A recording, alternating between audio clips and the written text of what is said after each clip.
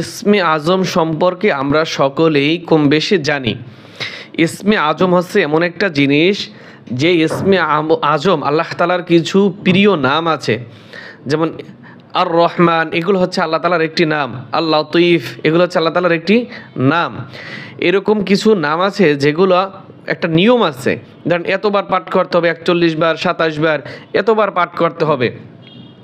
তাহলে এইরকম নিয়মে পাঠ করার পরে আপনি যা চাইবেন আল্লাহর কাছে, আপনি সেটাই পাবেন।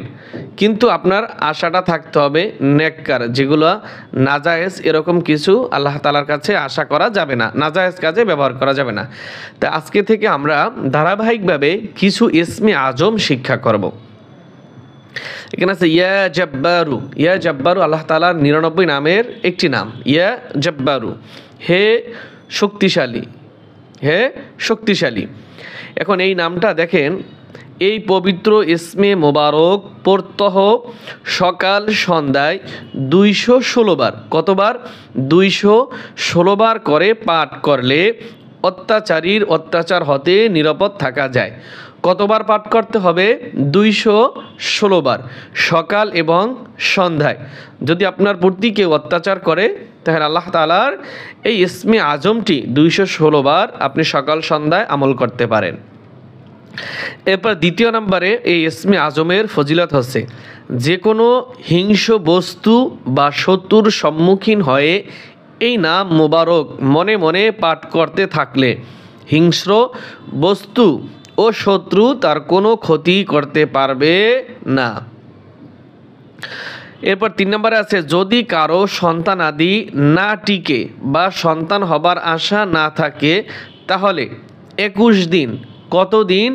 একুশ দিন পর্যন্ত প্রত্যহ ঈশা নামাজের পর, ইয়া জব্বারু, এই যে উপরে আরবি নামটা আছে, ইয়া জব্বারু, এই ইসমে মোবারক তিন হাজার বার পাঠ করে।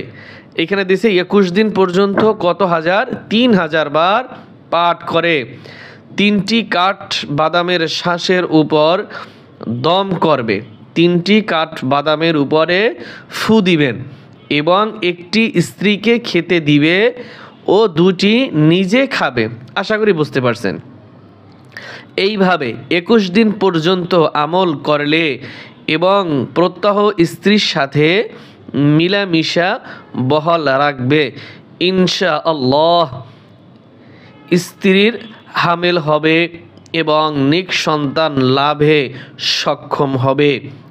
যদি ছেলে ভূমিষ্ঠ হয়, যদি ছেলে ভূমিষ্ঠ হয়, তাহলে ছেলের নাম রাখবে আজিজুল্লাহ আজিজুল্লাহ আজিজুল্লাহ।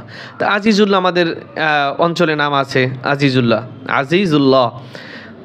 অথবা আত উল্লাহ অথবা আত উল্লাহ এরপর সমর্থ থাকলে সাত বছর পর্যন্ত প্রতি বছর একটি খাসি জবহ করত, জবে করবে। গরিব মিসকিনদের খাইয়ে দেবে অথবা কাঁচা গোস্ত বন্টন করে দেবে। যদি সমর্থ না থাকে, তাহলে প্রত্যেক মাসে ছেলেকে দিয়ে দশটি পয়সা অন্ধ ফকিরদের দান করবে। সুবাহান আল্লাহ আলহামদুলিল্লাহ। আল্লাহ তালার এই ইসিমের ইয়া জব্বারু, এই ইসিমটার এত বড় ফজিলত রয়েছে। তবে নিয়ম অনুসারে আমল করবেন, হালাল খানা খাবেন, সৎ পথে চলবেন, ইনশাআল্লাহ আপনার আমার দোয়া আল্লাহ তালার কাছে কবুল হয়ে যাবে। আমিন। আসসালামু আলাইকুম রহমতুল্লাহ।